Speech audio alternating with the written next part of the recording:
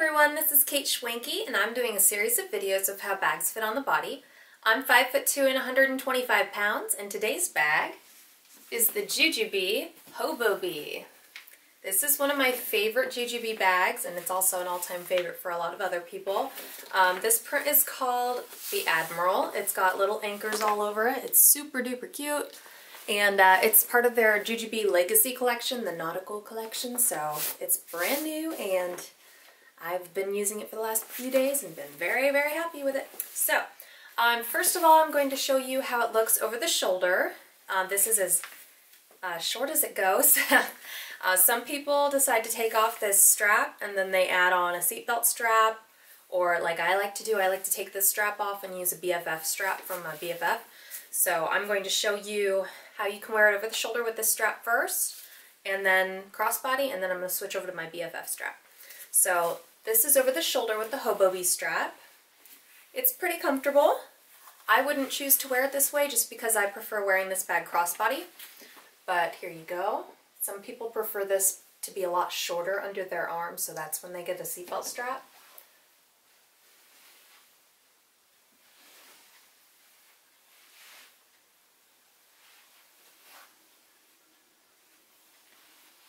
So that's over the shoulder. Then it has an adjustable strap, so you just pull it down however far you want it. Probably longest would be best for me because I like to wear it as long as possible with this strap. So this is crossbody.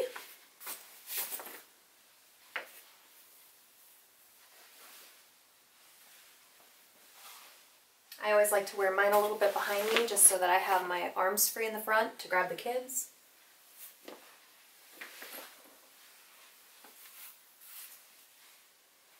So that's crossbody, and I'm going to show you real quick how you can take this strap off if you do want to change it out.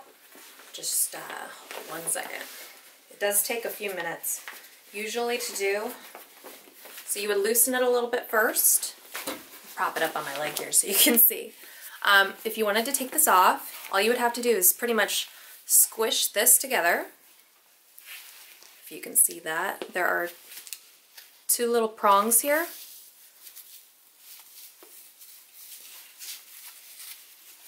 See?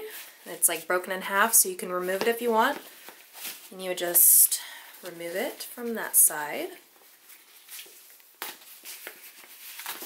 Ta-da! It's pretty easy. A lot of people don't know about it and they are tempted to actually cut their strap off. Don't do it. I almost did it once when I was a beginner and then I discovered. So there you go.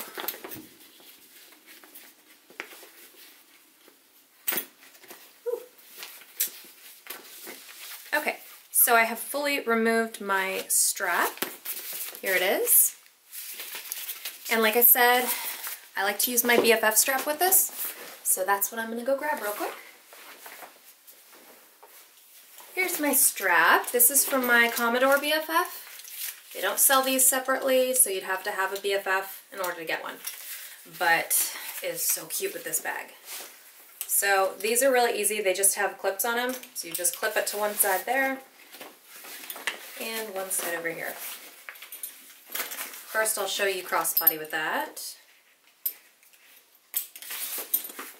This is the exact length that I always wear crossbody. As you can see, um, you can get this to go a lot longer. You just pull it down. I'm not going to. but you can make this a lot longer than the Hobo Be strap. So that's awesome for people who like to wear it extra low or if you're really tall.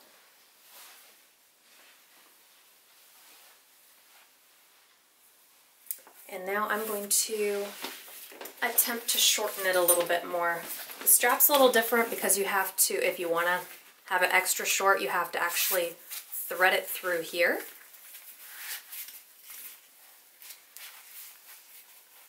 Might take me a minute. There we go. So I pulled it through. It also needs a little bit of breaking in because it's brand new.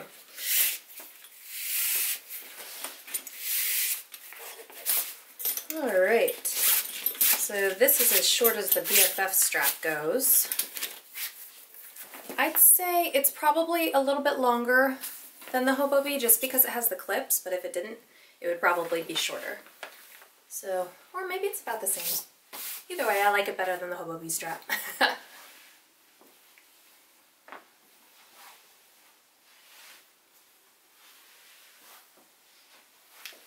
So there you go. Hopefully this video has been helpful for you if you're looking to see what size this bag is and that you can remove the strap if you want and add something else. So thanks for watching.